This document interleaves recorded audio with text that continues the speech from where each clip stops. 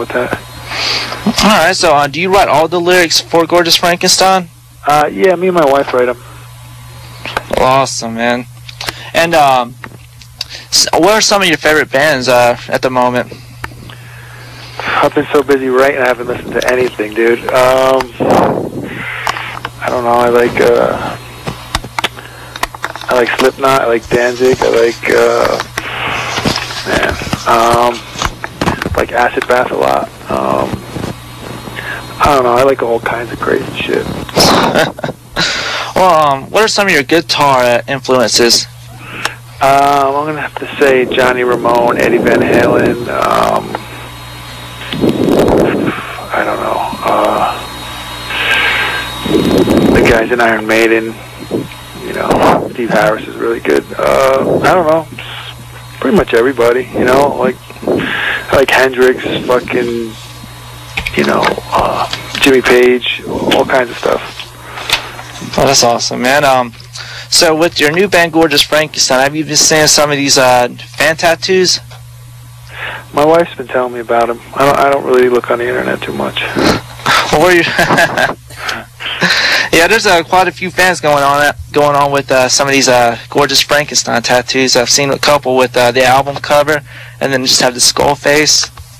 Yeah. Well- apologize to their mothers then.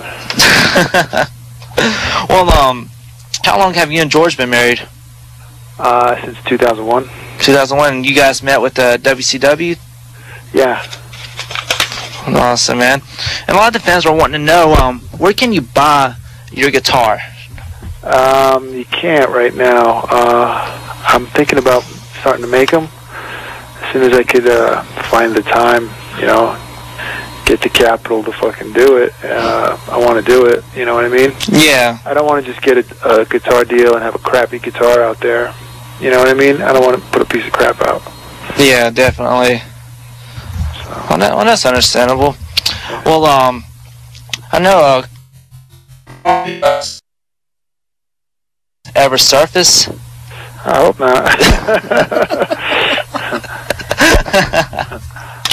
so, so you guys, that was a project you guys did in the '80s or what? I think it was. I think it was the 80s. And um, was it Chud involved with that? Uh, no, no he, Yeah. came, he came right after it. He came right after it. Yeah. So you don't want any of that to surface?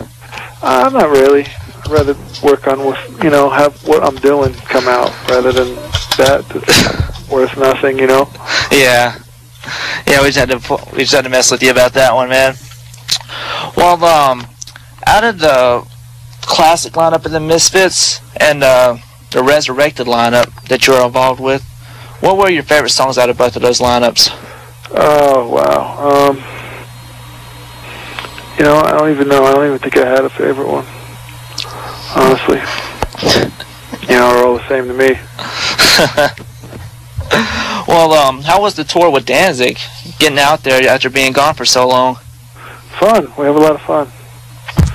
Yeah, I was uh, I was on the go catch when he got one of the shows up in Atlanta, but shit happened, didn't get to make it. But but uh, with uh, having Gorgeous Frankenstein up on tour with uh, Danzig for a first tour, how how was the fan response?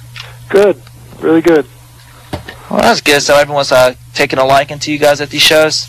Yeah, everybody did. I haven't heard anything negative at all yet. Yet. yes. well, so um, so what's next for Gorgeous Frankenstein? What's next? We're gonna um, start touring as much as we could and uh, put out more music. You know? So as in touring, is this just going to be in the states, or you guys plan on going overseas? Um, whatever their, you know, the booking agents uh,